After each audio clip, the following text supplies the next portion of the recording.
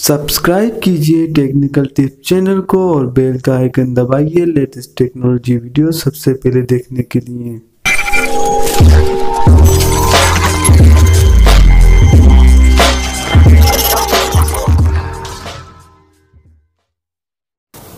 Hello guys my name is Mukhtar Alam और आप देख रहे हैं मेरे चैनल जिसका नाम है टेक्निकल टिप्स तो फ्रेंड मैं आज फिर हाजिर हूँ आपके लिए एक नई वीडियो के साथ और आज की इस वीडियो में मैं आपको एक ऐसी ट्रिक बताने वाला हूँ जिससे कोई दूसरा जो है वो आपके मोबाइल का डाटा जो है वो चुरा सकता है। तो आपको मैं ये भी बताऊँगा कि आप अपने मोबाइल का डाटा चोरी होने से कैसे बच सकते हैं। तो अगर आपके मोबाइल में ऐप लॉक लगा हुआ है फिर भी सामने वाला आपका जो है डाटा वो चोरी कर सकता है। क्योंकि ये ऐसा ट्रिक है कि अगर कोई से आदमी का हाथ में आपका मोबाइल लग गया तो वो बड़ी ही आसानी से आपका डाटा वो आप, आपके मोबाइल से लीक कर सकता है। तो चलिए गए मैं आपको बता देता हूँ कि ये किस कौन सा ट्रिक है और आप इससे कैसे बच सकते हैं। तो सबसे पहले आपने देखा ही होगा कि हर एंड्रॉइड मोबाइल के अंदर आपको जो है एक ब्राउज़र मिल जाता है और वो ब्राउज़र है क्रोम ब्राउज़र तो मैं आज इसके बारे में बताने जा रहा हूँ आपको। आपको पता होगा सिर्फ़ ये एक ब्राउज़र लेकिन इसके अंदर कुछ खास चीज़ें भी हैं जो कि मैं आपको बता देता हूँ। इसके अंदर एक कोड होता है। अगर आप वो कोड डायल करें तो आपके मोबाइल का जो है डाटा वो सारा शो हो जाता है। तो मैं आपको बता देता हूँ वो कोड कौन सा है।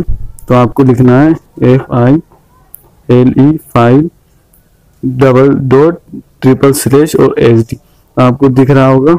तो आप जैसे इसको सर्च करेंगे तो आपके मोबाइल का जो है सारा डाटा वो ओपन हो जाएगा।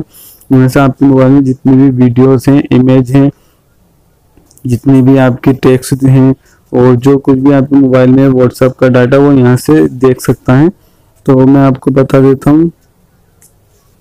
तो यहाँ से वो आपका पूरा डाटा देख सकता था, मैं आपको बता देता हूँ कि मैंने, मेरे मोबाइल में जो है एक वीडियो है जो मैं आपको बता देता हूँ।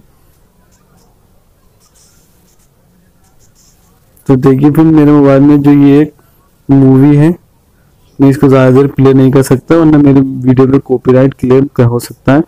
तो इस तरह से वो आपके मोबाइल का जो है सारा डाटा है वो निकाल सकता है और आपका जो पर्सनल डाटा है वो लीक हो जाएगा।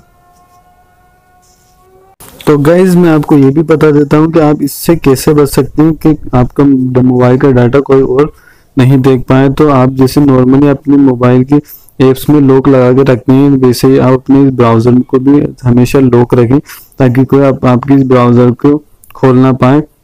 तो गाइज़ कैसी लगी आपको मेरी ये वीडियो अगर आपको मेरी ये वीडियो पसंद आती है तो वीडियो को लाइक करें और चैनल को सब्सक्राइब करना बिल्कुल भी ना भूलें। うん。